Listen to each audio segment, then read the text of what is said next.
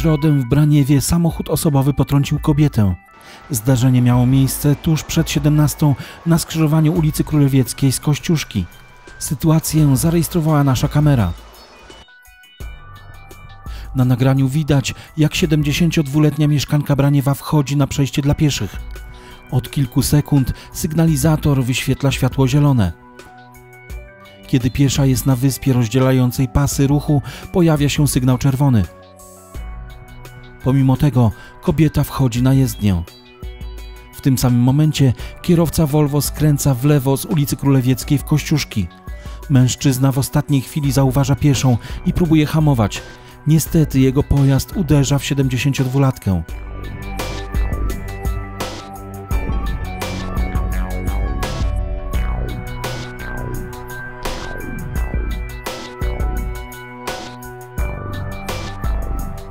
Pomocą poszkodowanej rusza kierowca oraz właściciel kiosku.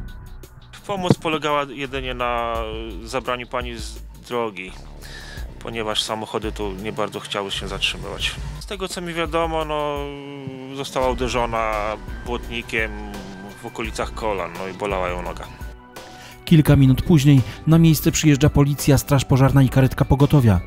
72-letnia kobieta ze złamaną nogą trafia do Braniewskiego szpitala. Jak ustalili policjanci, winę za to zdarzenie ponosi piesza, która zignorowała czerwone światło i weszła na pasy. Koło godziny 17 policjanci zostali powiadomieni o zdarzeniu drogowym na przejściu dla pieszych w Braniewie. Pracujący na miejscu funkcjonariusze ustalili, że 72-latka weszła na pasy pomimo zapalonego czerwonego światła na sygnalizatorze, w efekcie czego została potrącona przez kierowcę Volvo. Kobieta z obrażeniami nogi trafiła do szpitala. Za popełnienie wykroczenia kobieta została pouczona.